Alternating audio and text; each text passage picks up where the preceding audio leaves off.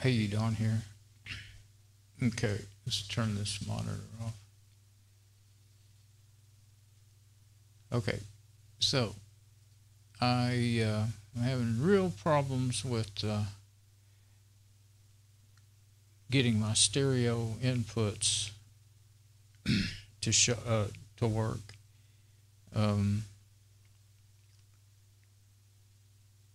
I did my other. Well, I did an hour long test and got all sidetracked like I usually do, and uh, I had my Bluetooth, my phone th- uh, two going through Bluetooth to the mixer, and I ended up taking it loose because I was afraid. I've heard that Bluetooth can interfere with.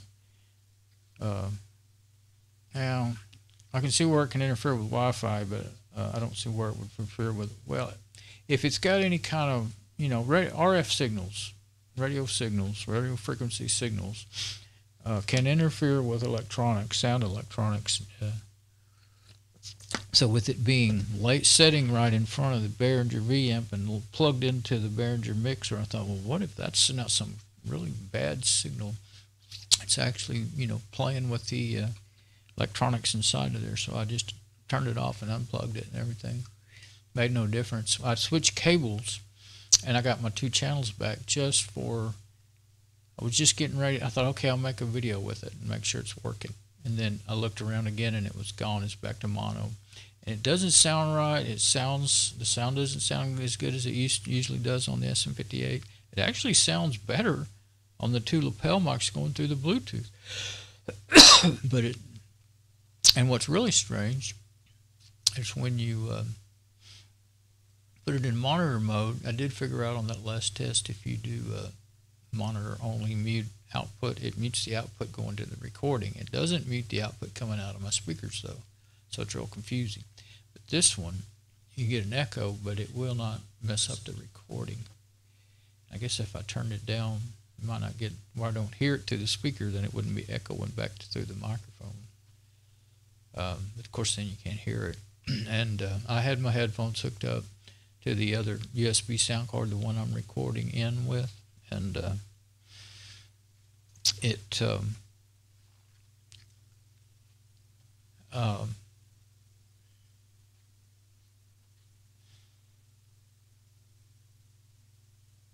it was just too fiddly. I had to switch so many things. It was just too hard to. Uh, I knew I would get things all screwed up, um, so I didn't. I unplugged it and I just plug it into the V amp.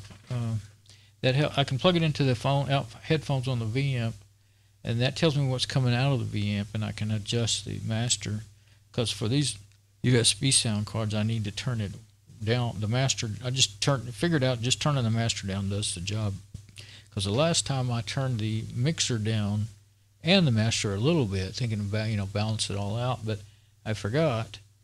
Uh, it was cutting, and if I wasn't if I wasn't talking loud enough, it was cutting off my speech, and it was it was sounding really weird and bad. So I need to keep. I have the the the gain, you know, this gain structure figured out from the mixer to the V amp and to and the compressor. You know where it's set, and it's hard to set that V amp. It's you have to press this button and hold, you know, and put your hold your finger on your nose and do this and do that. I cannot. I have no clue how to do it anymore, and have to. Uh, reading the manual is really hard. You know, small letters and all that. And I used to read it. Uh, I think I had a manual on the Windows XP. This thing was made during Windows XP days, and you can hook it up to a computer and and and you can. It's really a lot easier for me on the software, but I haven't done that in 10, 15 years because I hadn't really had a machine that I uh, with the you got to you have to use a serial port, and the machine my old machine that I used to have XP on doesn't have XP on it anymore. But I thought, well, I might put it back on there just because it's got a serial port and everything. Or well, this little laptop it has a serial port. I think this old Dell 6000. But anyway, I just haven't ever done that. It was working, everything was fine. But I started noticing on and off I would lose. I would be like this. It would be uh, um, mono, and I thought that's thought that was stereo, you know. And I thought, well, maybe I was just crazy, you know. But I, I, I I've seen it several times now. So um, now I am using a different. The last time I got distortion in the audio, and I swapped. I have two of these sound cards, and uh, this is the sound cards that I have. My settings are in my way here. Not in the way of the picture, but in my way. Seeing what's going, what, seeing what I'm doing. I've stuck a sticky note on it. Uh, they, I've got another one just like it. Well, they're a little bit different, but uh, I've had them for years. They're okay. They're not fantastic. I wrote a note to myself to tell me what to do. Let's see what that note says. Tell me what was going on. I mean, not what to do. I had that there to kind of line that up. I think it's a little.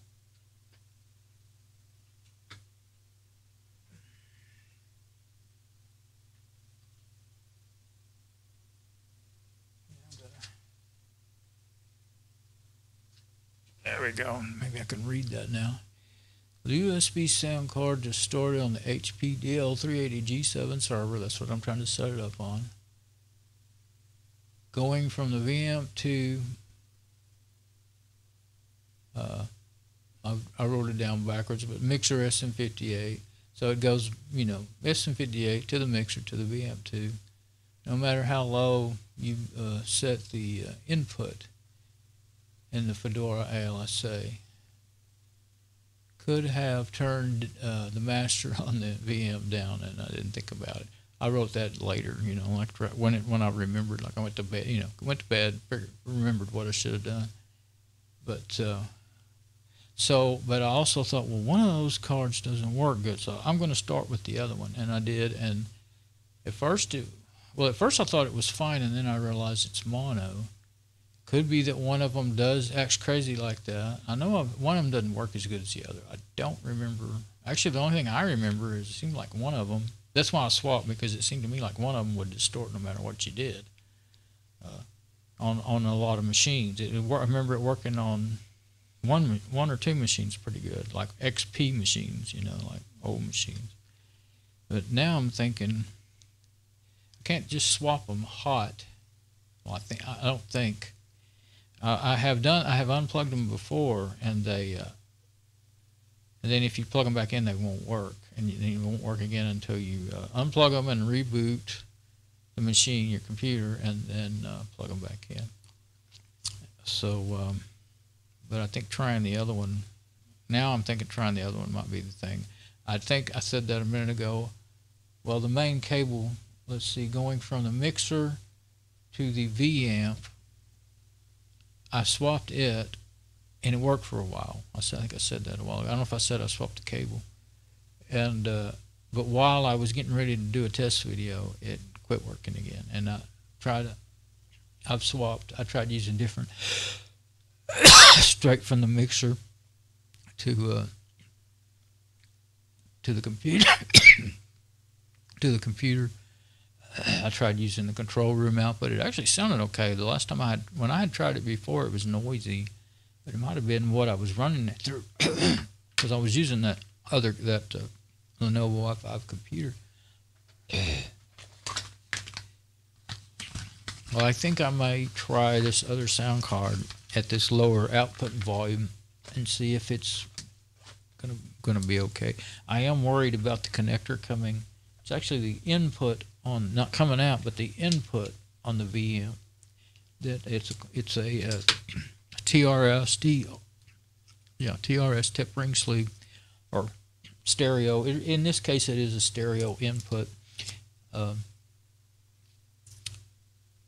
and uh, it's it's loose, real loose, and uh, I looked up in there with my uh, endoscope, and it best I couldn't see very good, but you know it didn't look like anything was broken, but it is loose. But I can move it. While ago, I was moving it with my headphones on, and I didn't hear any noise. So I thought, well, and I've tried moving the cable this way and that, and it doesn't come back. I've I've moved it before and seen it come back. I do remember that uh, several times. I mean, I would just move it I and I thought maybe the cable was either going bad, but I didn't have another one. Actually, I did do have another one, so I'm using it right now. I don't know which one's which now. You know which one's the. I had decided there was probably something wrong with that other cable when it was working, but now it quit working. So, but I can't see any differences. You, I'm gonna stop talking and move the cable. I was doing doing that while I was talking, so if you heard any noise.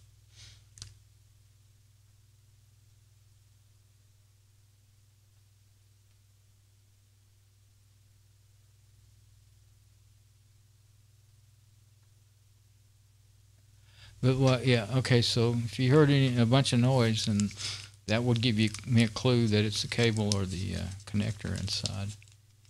But uh, a while ago I did it listening, and I didn't really hear any noise. And uh, and the thing that just really got me uh, thinking, well, the only other idea I've got is this switching sound cards again, USB sound cards, because I tried the main output straight to the computer and the control room output on the mixer straight to the computer. That should have been giving me a stereo signal. And uh, it didn't make any difference whatsoever. It sounded fine, nice and clean. Um, surprisingly, um, of course, I wasn't, you know, full on talking, and sometimes I get louder and all that. That's why I want the compressor. And of course, the noise gate cuts down the background noise but uh, but it didn't fix it. So I put it all back like normal. And so I think I will. I'll try this. I guess I'll have to shut this down to swap sound cards. I may have to reboot the computer. Probably be a good idea anyway. I could reboot. I thought about rebooting the computer and you know with that sound card in it, but I think I'll sh- uh, I'll shut. Let's see what would be the best thing. Yeah, So, well, one time I, I unplugged it, and on this server, once or twice I unplugged it. And when I rebooted, it still wouldn't work. I think I remember that, and uh, I ended up having to like make sure. I don't know. Maybe I put it in there, it didn't work. I rebooted it, and it still didn't work. And I should have took. I think I finally had to take it out and leave it out, and reboot it, and then it worked. So I'll take it out, plug it in, and if it doesn't see this card, then uh, then I'll reboot it. plug, take it out and reboot it and all that. Right.